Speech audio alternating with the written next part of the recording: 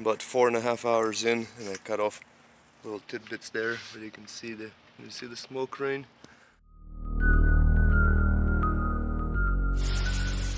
And before we start I want to give a shout out to Larry. He sent me a couple of these cool projects with Cubs and Jordan and um, Bulls and so forth. So I'm gonna throw them up on the screen over here. Let's go ahead and start now doing the Americana stuff over here. A bunch of free wood from a neighbor some really nice tongue and groove boards. A bunch of these are brand new and then he had a couple of already colored and stained on one side.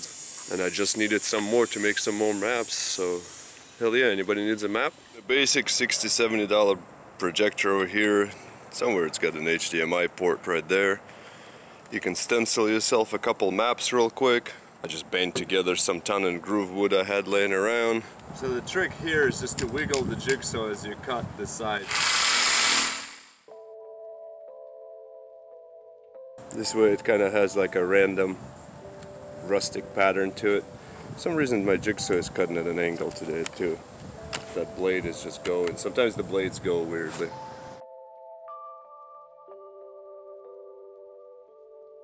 Alright, we got ourselves a brisket and we got ourselves a rump roast. Never cooked this before in a smoker.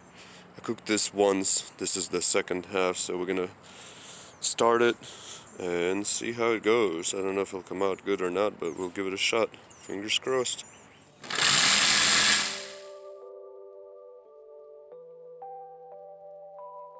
Halfway through, so now we know where the bottom is and the top. We can put some supports on the back before finishing the cut, so this way this thing won't fall apart. I mean, we can pre-glue the all these boards first, but I don't really care to use the glue too much, to be honest with you, and it takes time to set, so I'll just rather set these up and drill them in, go beep, beep, beep, beep.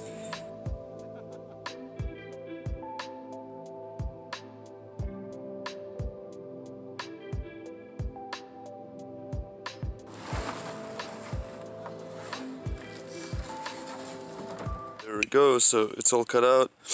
I got these connected with just little scraps of quarter inch. I got like a random piece laying around. So easier probably and cheaper would be to glue it than to waste screws, but it's just how I like to build stuff. These are cut so that there's a spacer when you're hanging it up. And then I'll put, at the very end, once everything is done, we'll put a little hanger on the back. The one part I want to show you, so whenever you have like tight corners, you can overcut them a bit. And then I'll just come in here and cut it so it doesn't look like so sharp here and then and then and then. The bit where we started we're just gonna go and run the jigsaw a little bit wider out because nobody can really tell where you're kind of at. And then if somebody can actually measure and be like oh the coast of Washington or whatever the state will be or Oregon will be a little bit off and it's not right you know of those kind of people in your life. So more thing too before I forget. So whenever you're doing like this kind of wiggly squiggly stuff you don't really need to be that precise about it all I do is sometimes I just kind of jerk the jigsaw to the side a little bit, sometimes a little bit more smooth. So whenever I do like the cuts on the side, just kind of wobble it randomly, don't go like, because then it'll be obvious. But then if you just kind of wiggle, wiggle, wiggle, wiggle, wiggle, then it'll come out pretty good, which is what I actually got to do next, is to do the, get rid of the even side on the back. And so we can see my squiggly, squiggly pattern this map. Let's see what awaits us. Still around at about 275. Not bad, definitely needs some charcoal. Man, it's looking pretty good. This looks really good. So I probably should read some instructions how to cook a brisket, when do I, should I wrap it and whatnot, but I want this bark to be darker, so we're gonna leave it smoking here a little bit longer.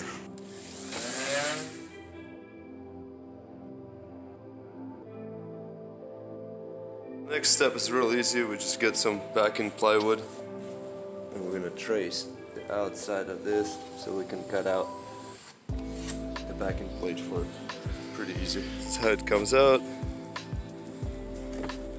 We'll paint this black and this is ready to be burned. The best part, haven't burned anything like three months. This step isn't strictly essential, but I would call it necessary because it's $30 for the blowtorch and it's magic.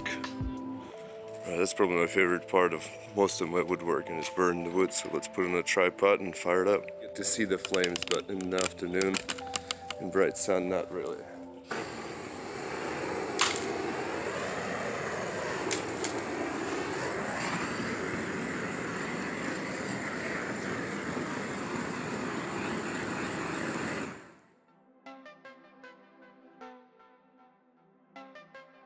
About four and a half hours in and I cut off little tidbits there where you can see the you see the smoke ring. There we go. So we're gonna see if these are chew chewy or not are they gonna be all right? I'm not sure which one it is. I think it's brisket. Yeah definitely true as hell. Tastes amazing though. I like that kind of stuff. And I think this one is the no this is brisket. Maybe this is brisket I don't know. Mm. I mean it's chewy but I like this kind of stuff because I can't eat like a human garbage disposal right away. Mm. Stain these bad boys. And before I forget, so I did spray them black from all the sides. From the back side you can see the overspray. This way it just looks better when you hang it on the wall.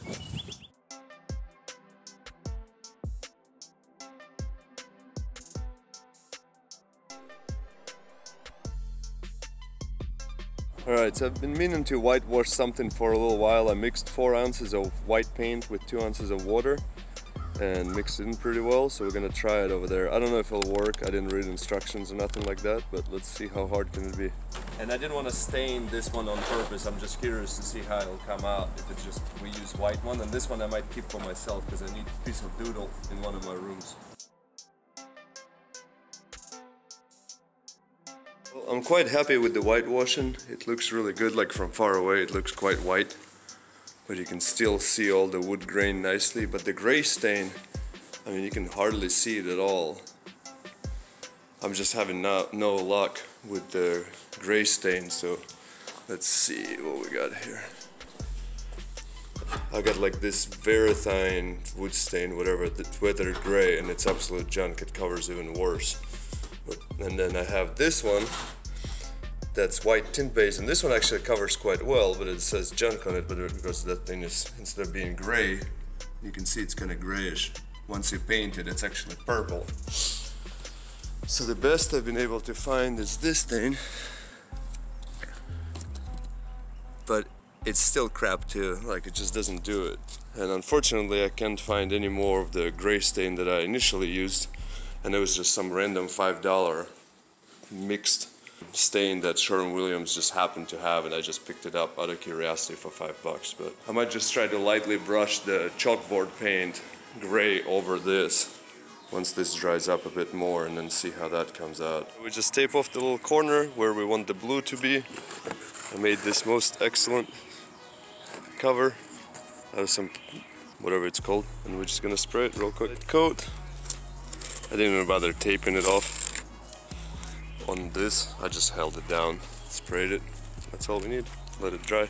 Alright, so the next one, we're gonna unscrew these brackets from the USA map, make a, out of a wire and some D-rings, make a wire hanger thingy for the back, and then we'll take our background, slap it on here. The only thing to remember is when you're switching it, it's from bigger screws, you gotta use slightly smaller ones because otherwise you'll forget and just run it all the way through. This spacer that I use is thicker. I mean, if you use quarter inch spacer, then it won't matter, but mine is half inch and then we transition out to quarter inch so that won't work. So we want to make sure that we switch to smaller screws. Let's do the shadows behind the stars. I taped it off a bit. We'll just spray lightly.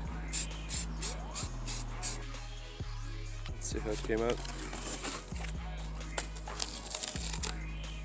Need to extend this stencil a little bit this way and do a couple more stars. We'll be cheating, but it'll look more proper, so we'll do that.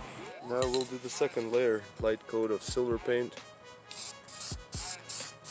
Oops, oops, oops, oops. There we go. Yep. That slight shadow just makes all the difference and we'll scratch it up at the very, very end. So as soon as you have these stars on, it's really cool. And it's just a stencil. You can buy a, back of the stencil like that for like, I don't know, 10 bucks or something like that. Both maps taped off. Dog is helping me out. So let's go spray this real lightly.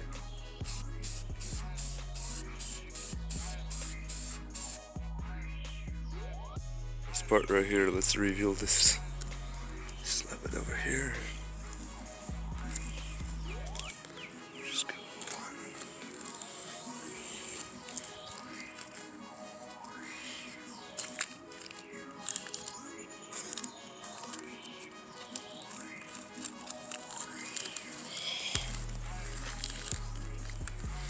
window.